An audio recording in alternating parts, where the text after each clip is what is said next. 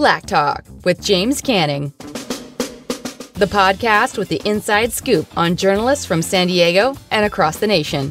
If you're a communications pro, have a nose for news, or you're just nosy, this is the podcast for you. Now, here's your host, James Canning. Hey everyone, welcome back to Flack Talk. I'm really, really excited for today's show. I'm going to tell you why. We're going bi-national. That's right. We got a bi-national reporter here with us today. Our very first, our very first. Now, we're going to talk a little bit about what that really means, but I'm really excited to have Tony Alvarez from Televisa Tijuana here in uh, San Diego studio, which is really a virtual studio, talking to us Flack Talk talkers. Hey, Tony, how you doing, man? Thanks for being here. Hey, James. Well, thanks for having me. This is this is a great opportunity to talk about exactly that, uh, the binational life, if you will. And I gotta say, please listen to Flack Talk. It's it's a great podcast. Podcast. I'm sorry. I'm I'm a fan. I gotta say, I'm a fan, James. Oh, hey, don't don't apologize. You heard it here first. Tony is a fan, uh, but we're a fan of his, and that's why he's here. As you know, the show is all about learning about different journalists from San Diego, across the nation, and internationally. We're doing it all. We're really trying to do it all. Uh, this is a passion for me, and uh, I'm really glad that you've come here today. So here, so here's the thing I want to kick it off for folks. So like if you've listened to Flack Talk, folks, you know that we've had a couple people who've been in other countries, India, Germany. They've been reporters there. They've kind of settled in. We're there for several years. But but as I mentioned earlier, Tony's our first binational reporter. And so for Tony, will you please share with our listeners what does that mean when you're a binational reporter? Uh, well, it, in essence, you live in one place and you cross the border to cover the news in the other place. Uh, in this case, for me, I live in Tijuana, born and raised in Tijuana. Um, and right now, working for Televisa Tijuana, which is uh, a local TV station of probably the most important and popular Latin America uh, corporation for television and as of late for social media as well, I am assigned to cover San Diego news for Southern California in, in certain cases. That means that sometimes I even travel a little bit up north, the five, uh, Orange County, sometimes LA, but obviously like 99.9% of the time I'm in San Diego. That's what I'm assigned to. And, and it's, it's, it's great I love it, and I'm pretty sure that if you ask any binational reporter if they they love it, they do. But at the same time, it's just one of those things that you need to learn how to go through uh, this idea that maybe people have that oh that it's so tough to cross the border, right? Or the struggle, or, or the wait time, or CBPs, or how do you you know manage to get stories on the other side? and and it's pretty cool because uh, probably we get up a little earlier than the normal reporter that covers San Diego because we need to cross the border. Yeah. But at the same time, it it's so fun. I mean, it, it's it's having that San Diego County, Southern California perspective, and you you broadcast for Tijuana, but at the same time, I don't know the, the percentage exactly, but it's such a high percentage of people that do the exact same thing that I do and many of us do, you know, to to just work over there or go to school in San Diego. And I say over there because I'm in Tijuana right now, but you know, right, right, right. or work in San Diego. And it's such a daily normal thing. And you know, it's funny because I get that a lot from, you know, some colleagues from the San Diego area and other colleagues that travel from I don't know maybe uh, Mexico City or other parts of, of the country and and you know the the main question is how do you do it? Uh, and it's honestly it's pretty easy. I, I, guess i say that because i've been doing this my whole life pretty much. And i've been crossing the border since i was like what like two years old?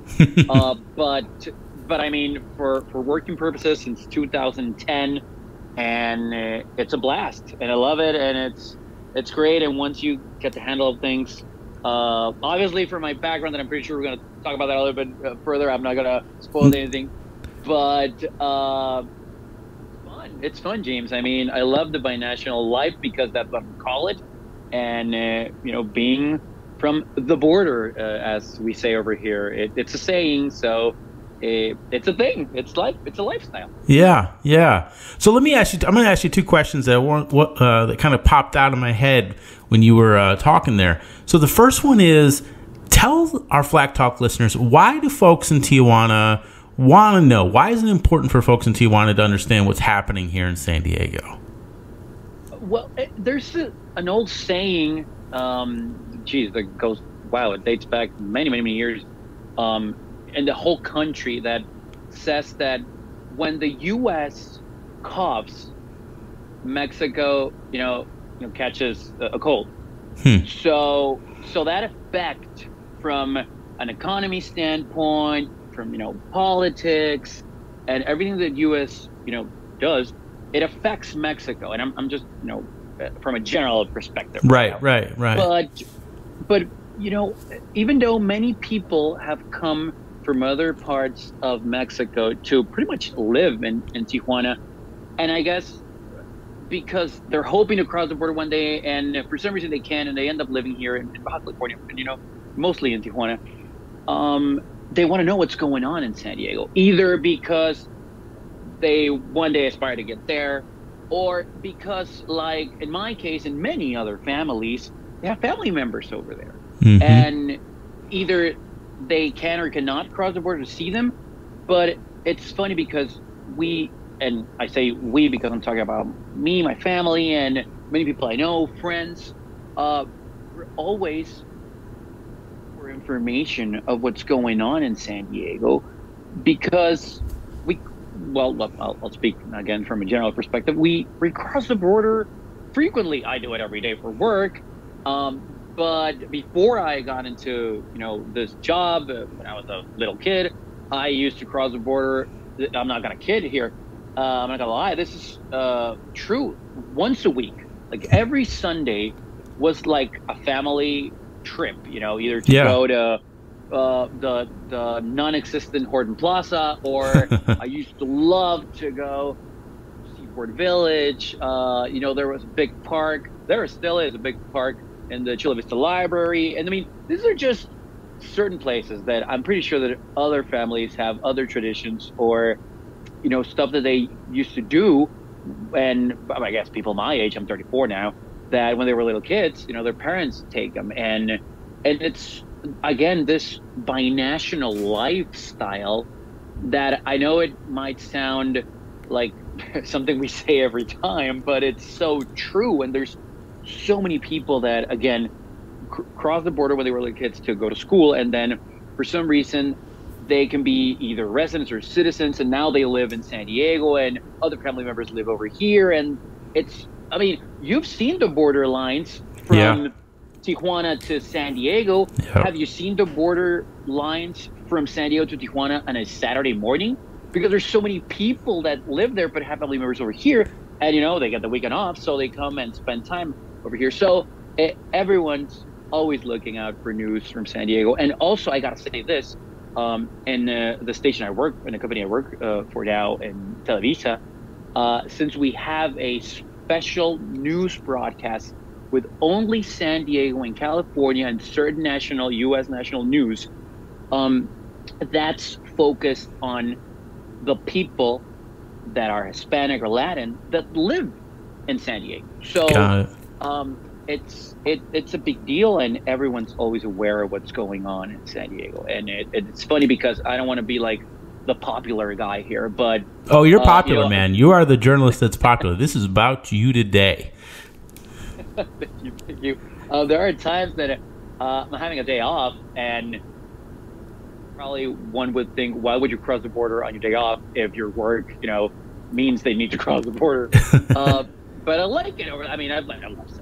So, um, what I'm getting at is that I meet people, you know, on the streets or in I don't know in in some stores or at, at a restaurant, and they come up to me and say, "Hey, you're the guy from the news, right?" And I'm like, "Yes, I'm the guy from the news." Oh, great job, thank you, thank you for keeping us, you know, updated. Oh, thank you for watching us. So, you know, it's one of those things that you realize the impact you have on people, not only in Tijuana, but also in San Diego and the Hispanic people and the Latin people. So right, which, which is it, it's really meaningful. So so Tony, let, let me let me. I'm gonna I'm gonna get more into a little bit more into what you're doing on the day to day here. But I want to ask this one question: like, um, can you tell me a little bit about tell our listeners a little bit about like, you know, briefly your background, but then also like what inspired you to be a journalist?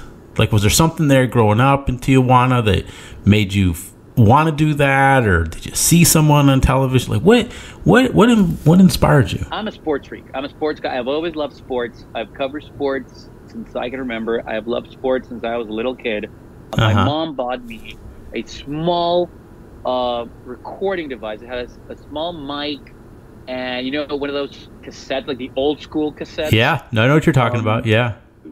So I used to watch the games in English thank you, Barney and KPBS, because those are the ones that really taught me English, to be honest. Hmm. And and I always watch games and programs in English. My grandmother uh, used to watch many programs with me as well, and uh, uh, she used to work in, in the U.S. Okay. Uh, and uh, I remember watching games and kind of repeating what the you know play-by-play guy was saying and what the pregame and postgame show uh, people were saying. Yeah. So I started recording myself, and then I started recording myself in Spanish as well and other sports. Many, I, I'm a, I mean, I love. I, it's it's really the sport that I don't like, and I have many on on my list, but I won't get to that either yet. Yeah. So so that's what kind of inspired me to eventually go into to what we call this uh, the. Um, main university in the state, uh, UABC, uh, the Autonomous Baja California University. Uh, obviously, I study communications. Yeah. And uh, one thing led to another, and I, I, I got a job as a correspondent for another, you know, big national corporation called Milenio. I was a sports correspondent there, and I've always covered sports. I mean, I've been, thankfully, I've been blessed with with the opportunity of having, you know, worked for many local and national stations as correspondent. But this is my first time here in Televisa working uh, for a big company, for the company in Latin America, not only in Mexico, but covering other stuff that's not sports. Uh, I started a little more than uh, a year ago. It was in uh, December, December, yeah, it was December 1st in 2021. Okay. And I, this is going to sound bad, but this is the truth. At the time, I was unemployed. So when they reached out to me, I have many friends there, uh, but my boss, I knew her, but she wasn't like a close friend at the time. Right. And she said, you know what? I know you and your background. I know what's going on with you, but I also know you know San Diego, and we need a reporter for San Diego. Are you up for it? And I'm like, all right.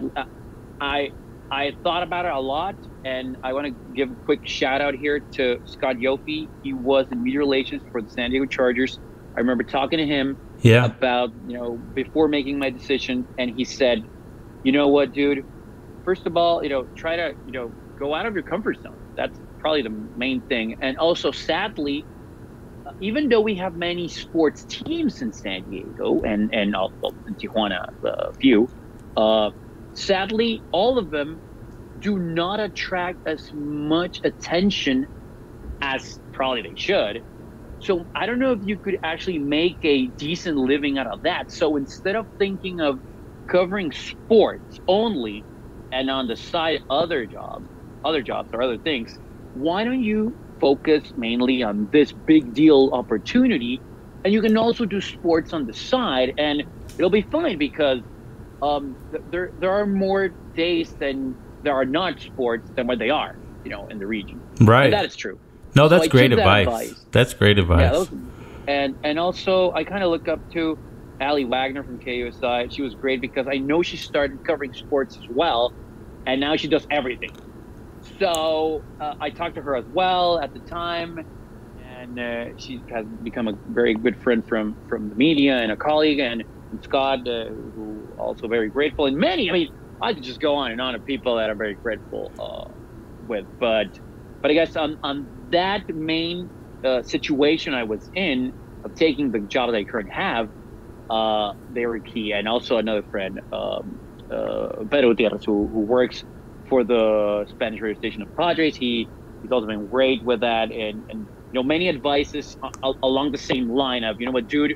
I mean, this is a big deal job. It's not any job. So take that, make the best of it, and other things will come up. And to be honest, th- thankfully, thank God, uh, other things have, have showed up as well. So that's, no, that's, that's that, kind that, of the short version. No, no, no. Look, that's a wonderful story. I think it's an inspiring story. You know, I think you know we've talked to journalists on this show who have have gone through those ups and downs of you know you're a journalist one day and then you're not and then you got to go figure it out, right? I mean, I've been in that situation. I was a PR guy, thought I'd be in a job for 20 years, and all of a sudden I'm not, you know? And so I, I think that this for, you know, our, our niche here, right, is PR people, journalists, you know, kind of opinion leaders. It's important for folks to see that, uh, you know, you're a pretty face on TV, Tony. You know, they read your byline online, but uh, we all go through the same challenges, you know?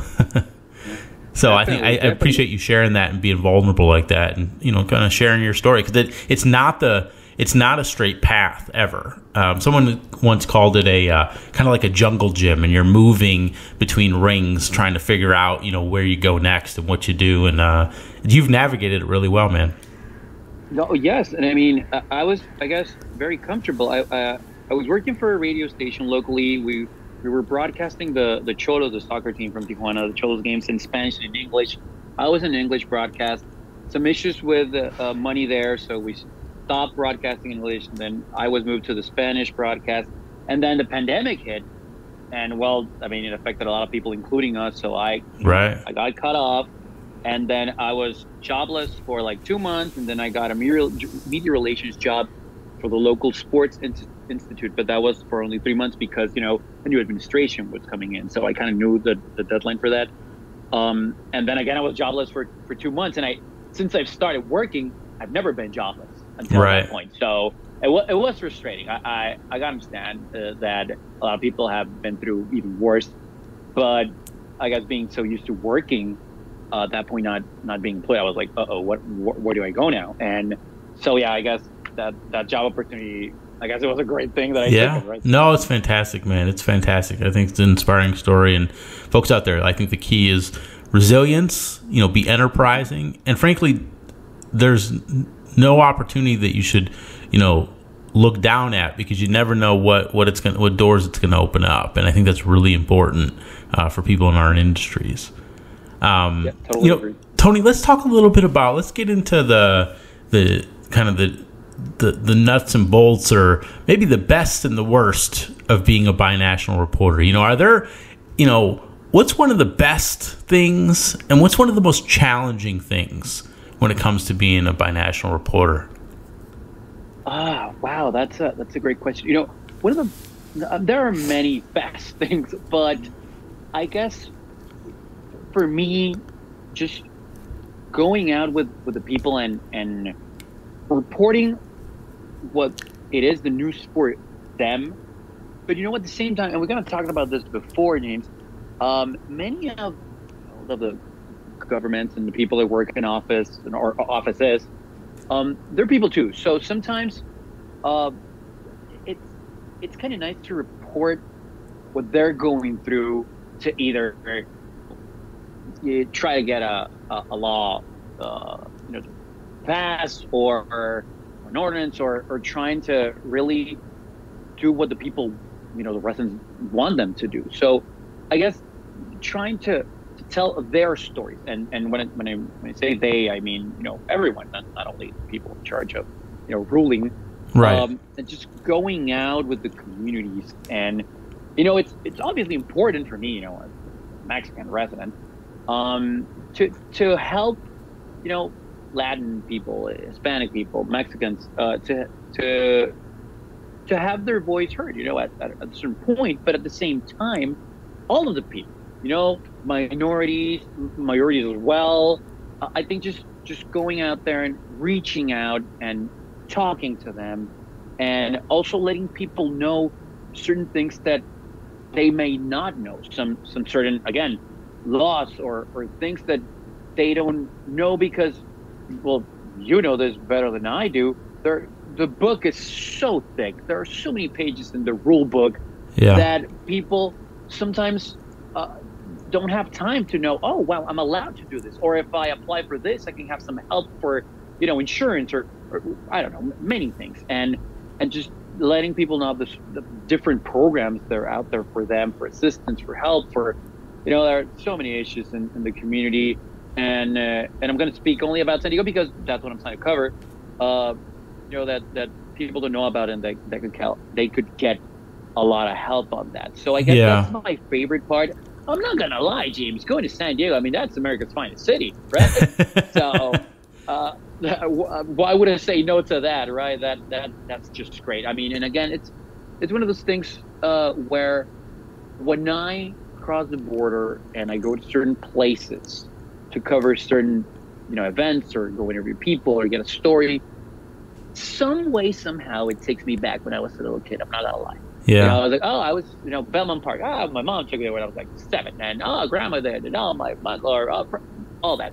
And yeah. That's always cool because you feel like you're at home every time. Yep. That maybe I have my home here, and then I go to my other home, which is San Diego. So uh, that's that's pretty cool. Um, the most challenging, ooh, you know what? I uh, I guess it's the border time way to cross. And even though I have the SENTRI card, which is like the fast pass at Disney, if you, I mean, I'm pretty sure people know, but either way, um, there are days where it's just long and slow, and you're you're you have like a an event to get to, and it's going to start at a certain time, and even though you get up earlier and you get to the borderland, it's it's it's a pain. So I would say that's the only like big challenge but at the same time, it's not every day. And once you, you know, know certain days that, you know, it might be slower because I don't know, it's uh it's a holiday and you know, a lot of people's gonna want to come back, um, or, or something like that. You you kind of understand the way the border as it is works, uh, but I guess that would be the only challenge. I mean, everything else, I'm not gonna say it's easy but it's so fun, and I love doing it. That you know, you say that if you're you have fun doing your job, you really don't have to work any day. right, so, right. No, that's uh, you know, and for folks who are listening that don't know, I mean, you know, it, it's a the border is an issue that's uh, leaders here are always trying to deal with in terms of the the timing and things like that. And, and, obviously, as you've expressed here, it's a it's a variable that you need to account for as you're doing your coverage or covering events or trying to get back and forth. And fortunately, I'm assuming because of technology, you know, we, you benefit a little bit. Maybe you can shoot your package and send it back. And but if you got to do that live shot and you're supposed to be on the other side, mm-hmm. uh, that's a variable. And I'm sure you and your team are always accounting for that. And that you know that's that's probably different than you know the the reporter at a station here who's got a deadline too, uh, but they got to go 20 minutes and they don't have the variable, maybe it, maybe a traffic accident or something like that. But you know, not a border wait that does take a long time, even though uh, you know you have all the proper uh, you know tools to pass, you know, the SENTRI and so forth. So I appreciate you sharing that. I think I think that that's something that uh, we haven't heard a lot about yet on our show, and uh, I think that's important for folks to really understand that there's variable, especially being a binational reporter. There's a lot of things to kind of deal with and and, and, and go through. And, and, I love the fact that you know your stories of the best things. I, I think that sometimes the nostalgia of a of, of a family experience that can kind of pop its head up in your uh, career is always a very nice kind of. Uh, shining point in a day. So thank you for sharing that. So Tony, have there ever been any real wild stories uh, that you've had to report on? You know, maybe something that's happened to you while you're reporting, or something that was unbelievable or new at the time?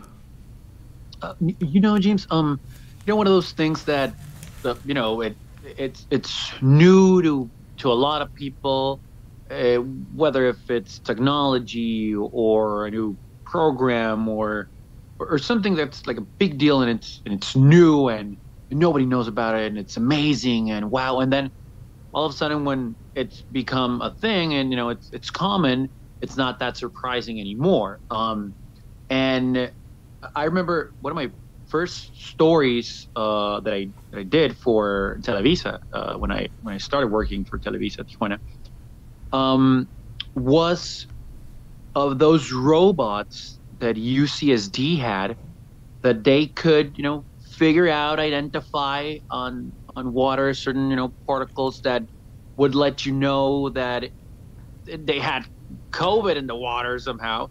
And if you know, though that water from I don't know sewage or whatnot would would go to a certain area, a certain amount of people in that area would you know get COVID, and it would show up a few days later. That was obviously big, you know, in San Diego at first, but that was pretty common, and, and they used it a lot in many areas, you know, of, of the county. Uh, but you know, for us over here, which is also one of the beauties and and you know things that make you kind of scratch your head as well, from you know binational lifestyles or or, or, or ideas or whatnot, is that that being so close over here that was completely new. I mean, it was one of those things that was like, wait, what? A robot that identifies COVID particles in water? I mean, how does that work? So I remember when I proposed that story to my superiors, uh, they were like, what? What's that? So I kind of pitched it and explained. And then I went over there to UCSD and they were kind enough to literally explain me step by step how it works. Yeah. And well, that means you know they have to stick their hand in you know uh, certain places. Wait, wait, wait, wait, Uh, wait, what does that mean, Tony? Certain places. What does that mean? Come on now, Uh, tell our well- listeners. Well, they get like a sample of you know all the water that comes from you know restrooms and you know other areas, all of all the sewers and and all that. Part All the stuff that's of- in the sewer, right? Yeah, and- Folks, we know you it's in sewers, right? Do we know it's in sewers? I mean, I don't got to say the word. I, I don't really like saying the word, but I think we know what we're talking about, right? Number twos, maybe some number, Uh, number two. twos. Yes, that's that's it. The, the Ah. normally brown number two thing. Oh man, Uh, and, and I mean, those are samples, but it's funny because they have those raw. And I don't know if uh, people listening have. I'm pretty sure they've heard of it, but I don't know if they know how they work. Uh, it's like a like one of those Star Wars droids, and they're in strategical parts of campus. And again, uh, uh, they, they were used in, in other parts of the county that that kind of you can say that US UCSD, excuse me, uh, analyzed all that hmm for the county at some point, or for certain areas of the county and certain companies. But they were like far, man. I mean, th- th- hats off to UCSD because they did an amazing job. You know, all that department that just that they're amazing, and they from those like R two D two robots, uh, they those robots, you know, capture a sample, if you will, of th- those particles from that water that has number twos, and they were analyzed, and they would say, "Oh God, I mean, this has COVID particles that comes from a human being, so from that area, if a person took a sample from I don't know, like a classroom, I would say, or a dorm room."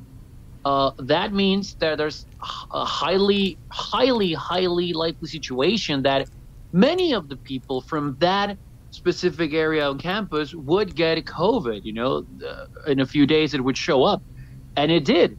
So there was it was a nice way of kind of starting to you know isolate people before COVID.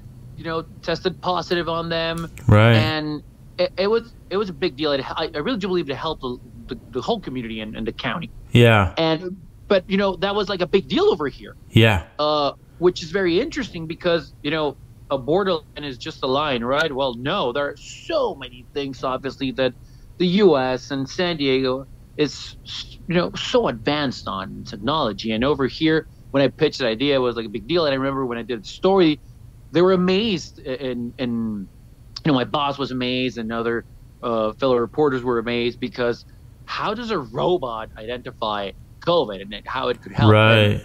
And, and we didn't have it, and I don't think we ever did, you know, in, in pandemic and all that. So that was, but kind of like the the comparison of what USD, one of the most important universities of the county, and that department and what they do and how they help the people of San Diego just by doing that.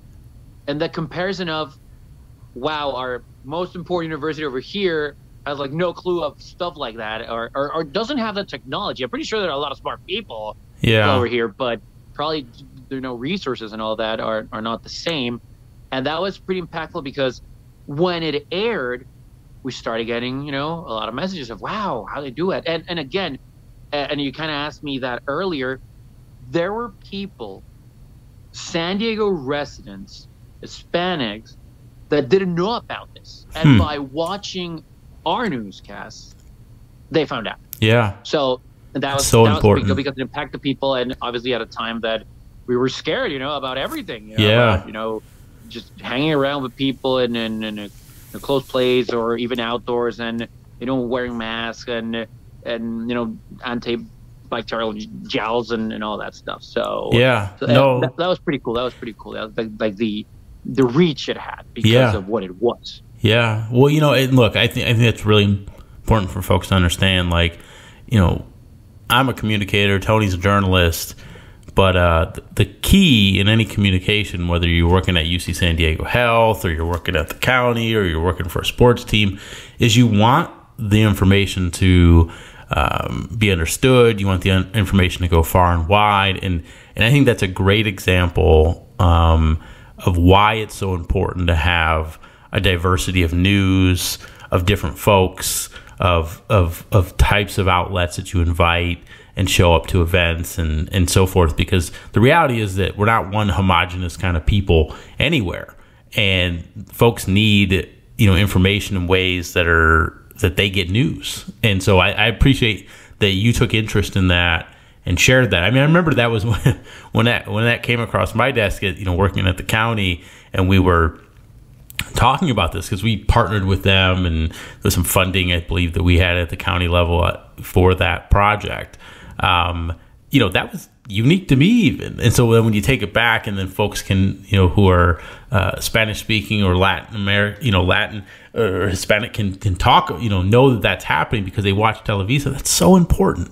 That is so important. And I think as PR people, uh, we have a responsibility to remember that, uh, you know, it's not just, you know, your five stations. You know, there are there are binational stations. There are there are smaller publications with you know that cater to the black community, the API community, you know, the Latin American community, you know, Asian community. So I, I think that that's a really important thing, Tony, and I really appreciate the fact that you know you took that story back. You helped a lot of people by doing that. You really did, and I think that that's you know that's one of the things. Uh, you know, we got a few more questions here before we get to our breaking news round, but I want to dive into and, and maybe do a, get a little bit because I think it's a good segue into this question I had.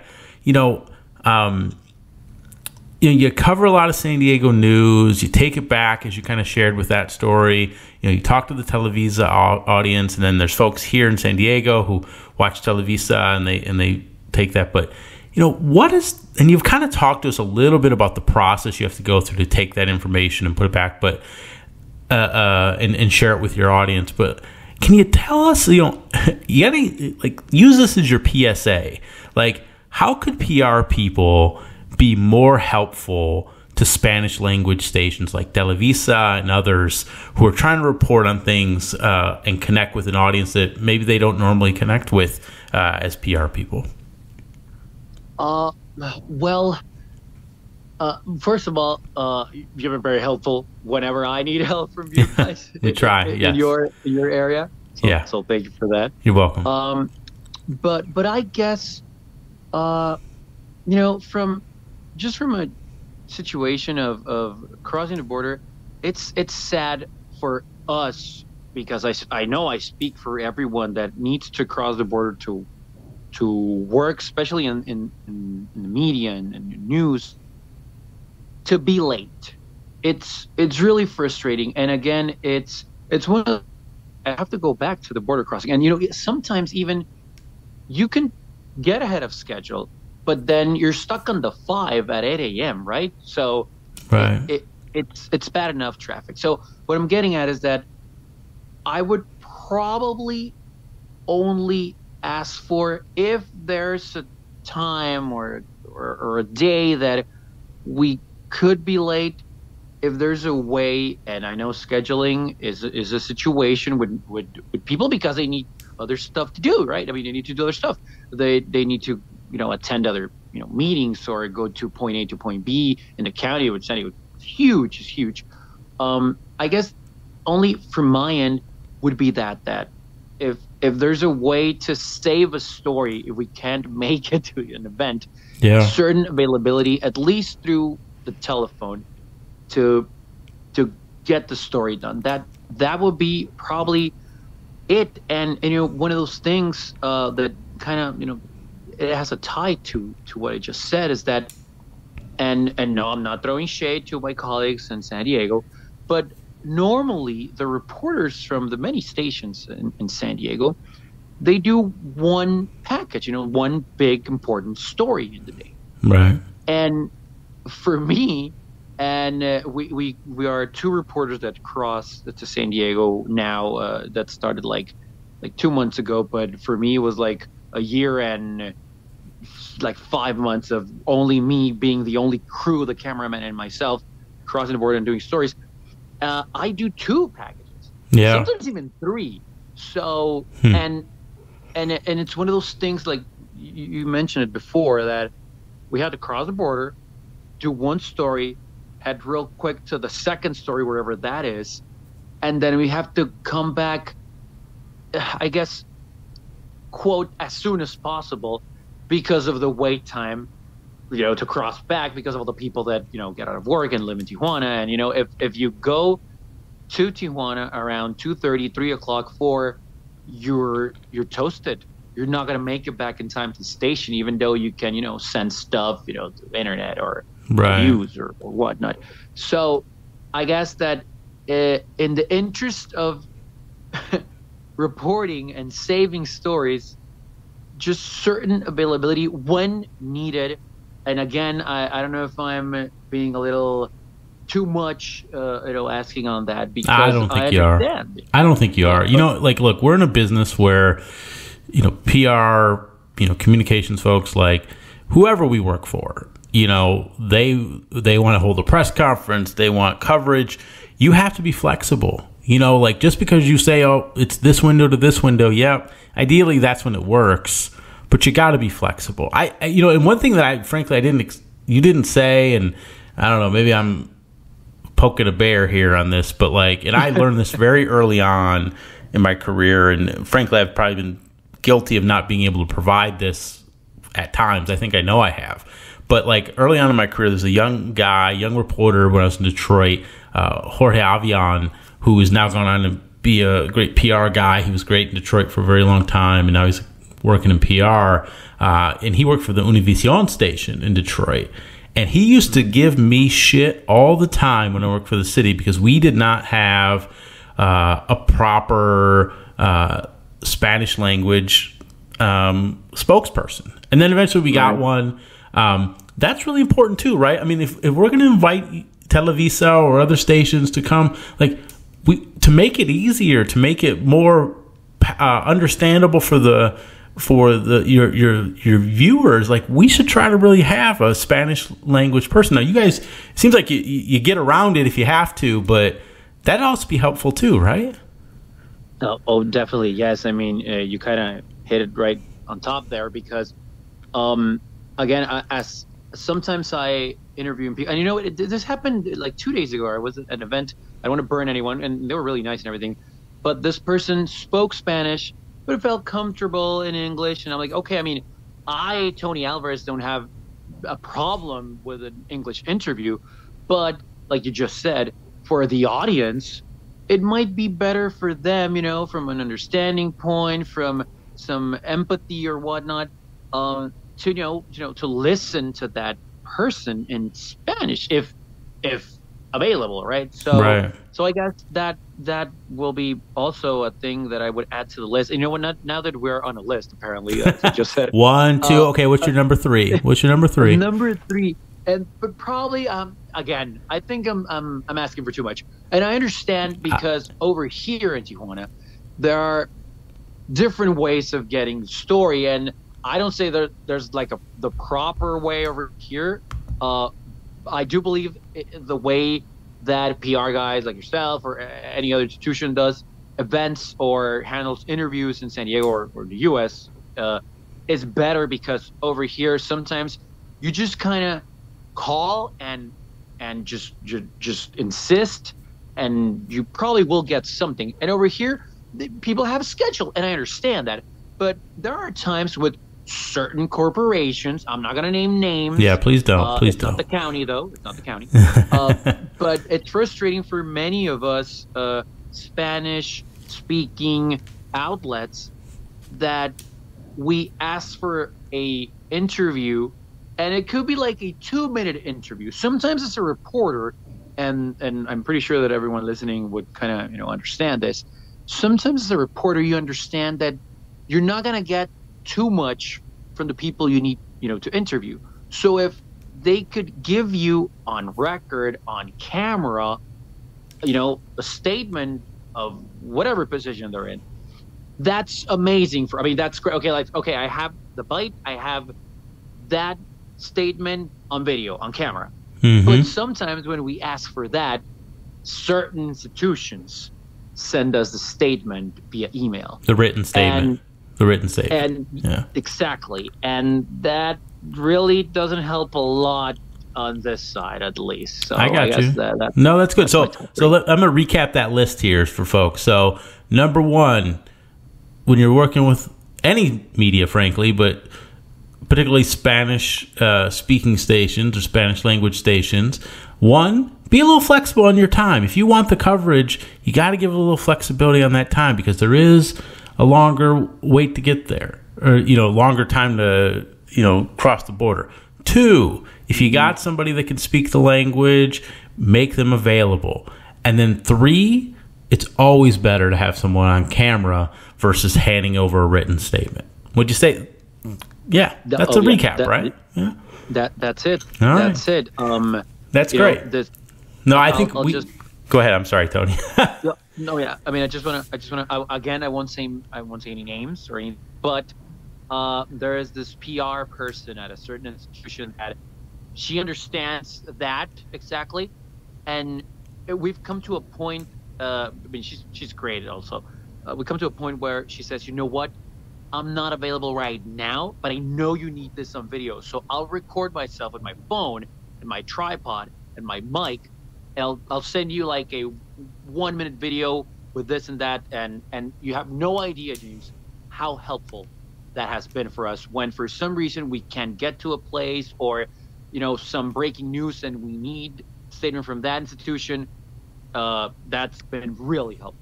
That's I mean, awesome. I know that not everyone can do that, but but and and and they don't have to do what I say, but that that has been really helpful for the people. You know, not for us, for the people. Yeah, no, that's that's good advice. That's good advice. All right, Tony. So let's do this. We talked we talked a little bit about your sports career. Uh, before we hit our breaking news run, I want I want to dump, jump into something. I want to know what's your favorite sports team? You talked about like you love all kinds of sports, but what's your favorite sport, your favorite team, and you got a favorite player in that sport? Oh wow, uh, geez, I don't know if I'm gonna put some people to cry here because of the names I'm gonna say, uh, or or I don't know if it's gonna be only about pity, but obviously the the no longer existing San Diego Chargers. Yeah. Um, that that pain I know people listening might say, you know what, dude, get over it. And and I think it's like when you lose someone uh, that you really never get over it, but you learn to live with that. Right. uh, and I'm, I'm not gonna lie here. I'll, I'll, i still watch him. I still pay tickets to go up there and, and see him. But I will also be really honest. I it doesn't feel the same.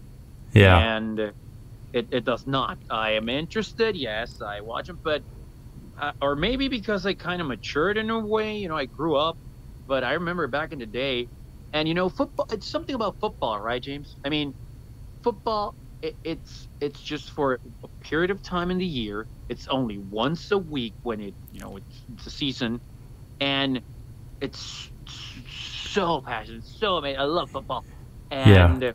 and I remember when when things didn't go our way, uh, I got really frustrated. I mean, like I was mad, and and, and nowadays I get over it, you know, pretty pretty quick. But, yeah. But I guess for football, it's it's uh, it's still the Chargers, but it's not the same. I'll be honest. Yeah. Um, for baseball, it's it's my Padres, like good old uh, Ted Leitner used to say. Um, and and again, it's one of those things that uh, those teams are the reason I love the sport. Yeah. And I I grew up watching them, so and you know it's safe to say they weren't very good. I mean, it the Chargers went to the to Super Bowl '94, and, and I thought that was like a, a yearly thing for us, and God, it was not. So until you know Tomlinson and, and Rivers and all those people, gates, blah blah blah. Uh, and then for the Padres, well, I mean they they won the division amazingly in '96. I remember that, and I remember buying the Union Tribune and watching the standings, you know, on Friday, Saturday, and Sunday. And then when they went to the World Series in '98, and I also thought that was going to be like every other year thing. And well, we know that's not the case. We have a decent team now, but struggling right now. That's another story. But I mean, those are my teams for those sports. I, I'm Mexican, so I'm crazy about soccer. Obviously, yeah. obviously. Uh, well, no, uh, hey, we shouldn't assume. We shouldn't assume, but I appreciate you clarifying that. uh, what, what my people think is that I am a Xolos fan, and I am not. Oh wow! Um, oh yeah. When I grew up, the Xolos didn't exist. So one of my favorite players was Jorge Campos, you know, that goalkeeper with all the, the colorful attire.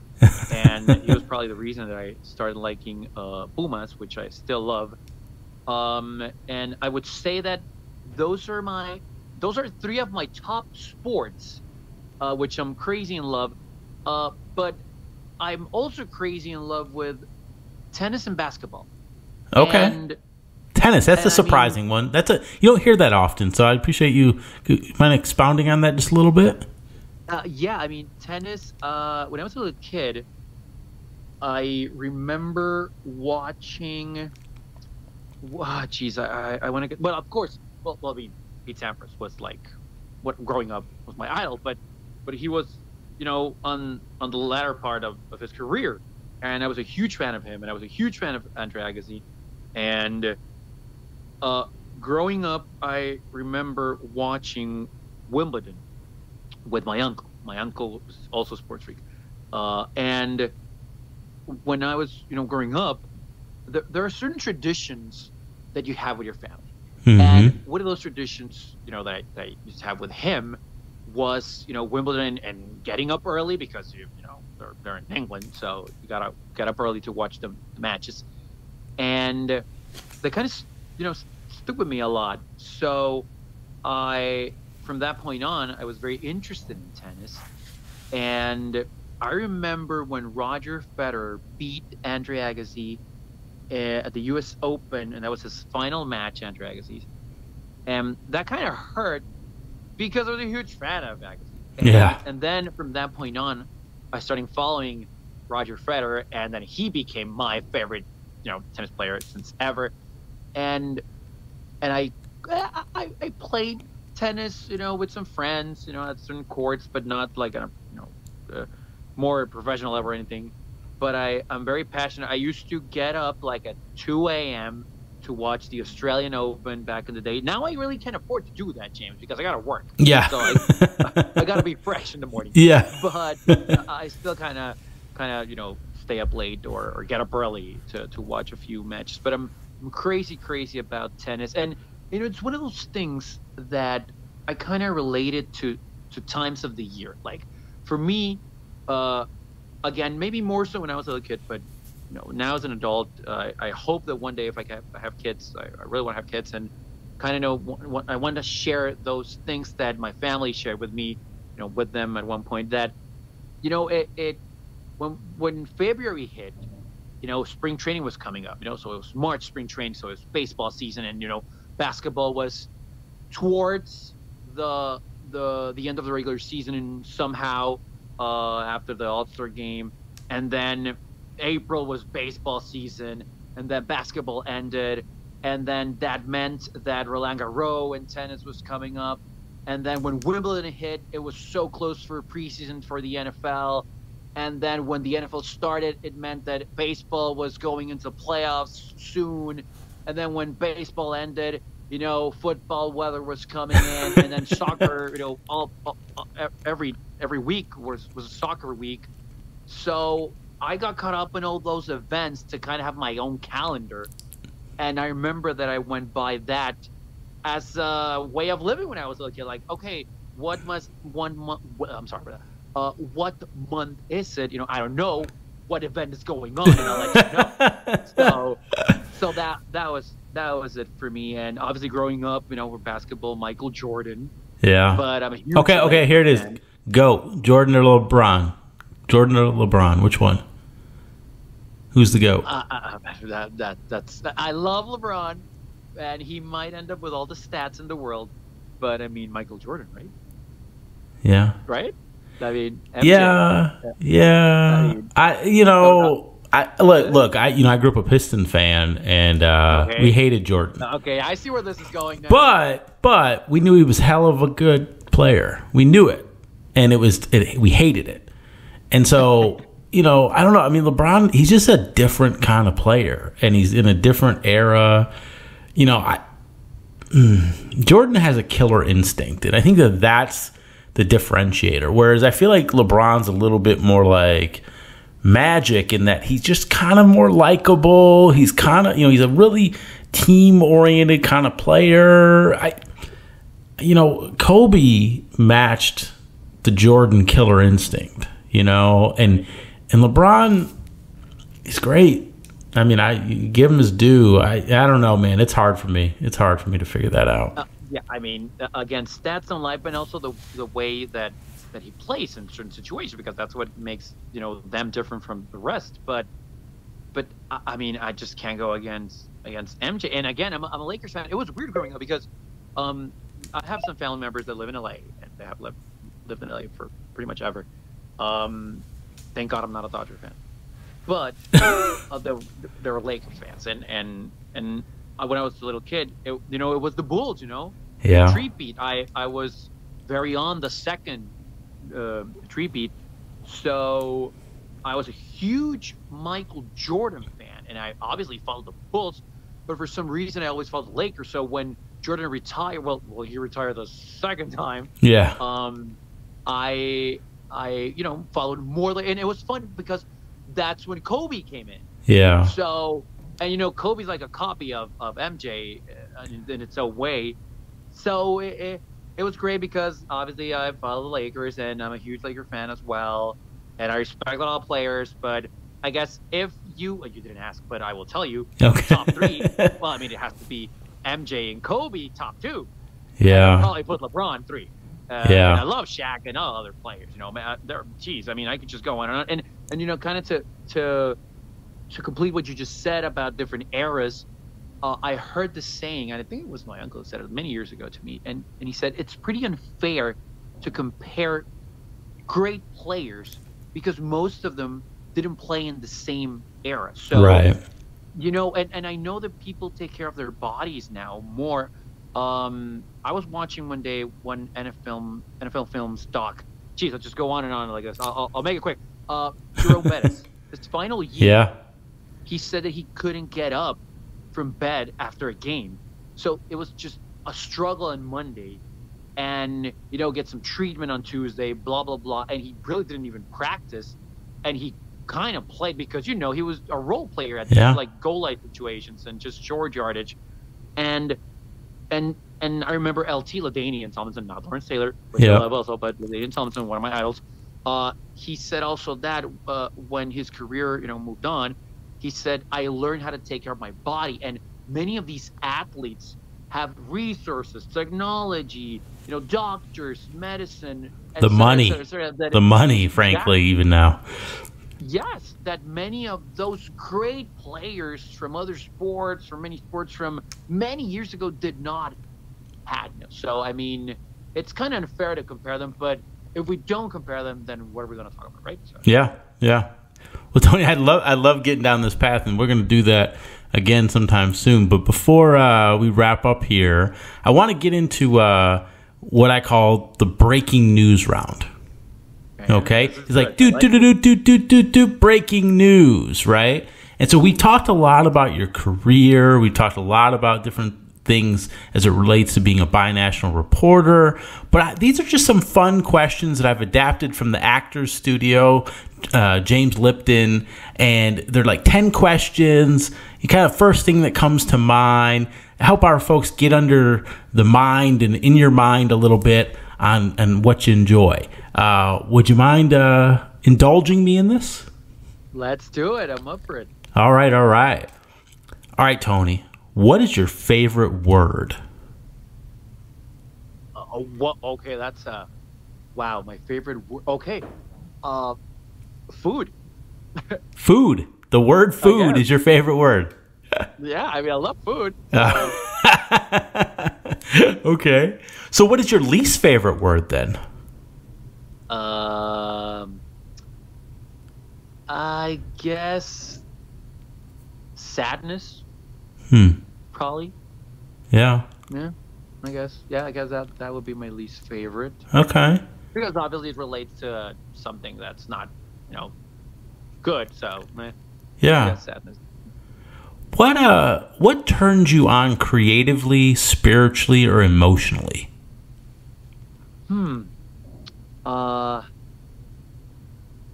Ooh, that's a oh geez, that's a good one. I mean, I'm trying to think of something real quick, you know, to to to to not cut the the whole idea of the of the breaking news. But God, I, you know, probably a a good conversation. You know, a, a good conversation with pretty much anyone Mm-hmm. if if it's if it's real good about anything, James. You know, I mean, I've I've met people from from many places and, and from many backgrounds, etc. And if you can have a good conversation with anyone, that could either inspire you at work, at at uh, your home, uh, to create new stuff. Uh, I think I've always been a fan of having good, com- I mean, conversations that end up being good Yeah. uh, from topics that you know sometimes it could be something that could have an impact on society or sports related or food or music Yeah. or just the way that people handle certain situations because you kind of get this you know uh, retrospective and uh, I, I get your opinion you get mine and then i can learn from you you can learn from me etc I, I think a good conversation that that's that's good enough that's that's amazing for me Got it. What turns you off? uh, you know, people being mean. Yeah.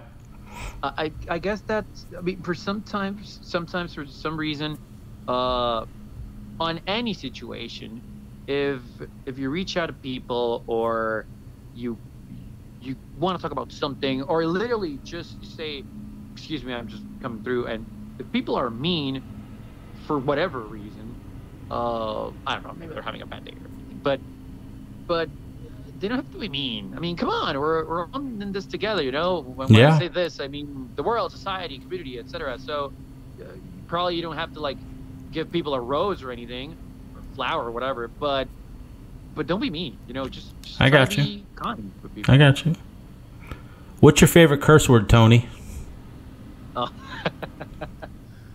uh, I guess I have two. I don't know if I. You can have say two? You can say them both. We, we, we have the explicit tag on this podcast if you'd like to share them.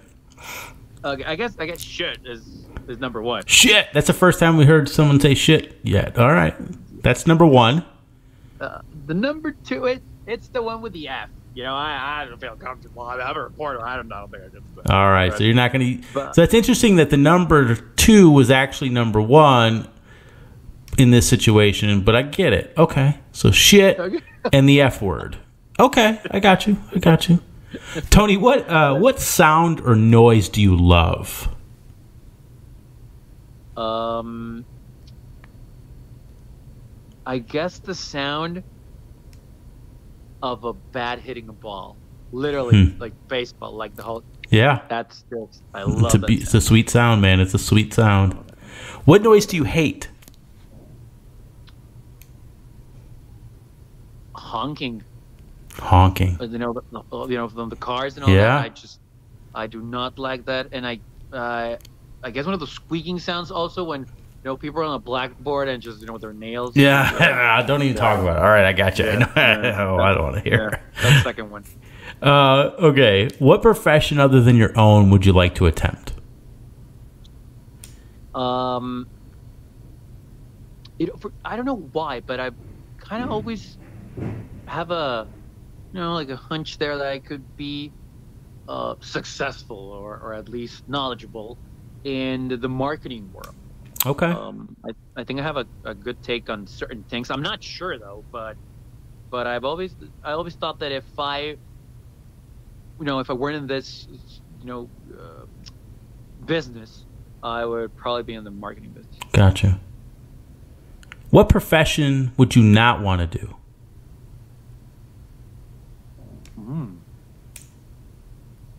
Uh, okay. Um, you know those people that go up the you know the like the very tall buildings and clean the the windows. Yeah.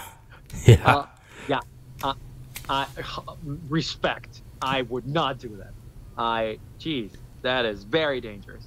yeah. Um, that but but I mean, I gee, wow. I guess I guess that's the one. Uh, uh, uh, uh, no, that's good. That's good. I got. I, I'm with you on that one. The heights thing is kind of kind of weird uh, for me too. So, okay. I So mean, tell- I've been to tall buildings, but but, but yeah, to hang from the outside of one is a whole different story. Oh no, hell no. All right, Tony. So our final uh, breaking news question: If heaven exists, what would you like to hear God say when you arrive at the pearly gates? You did well in life.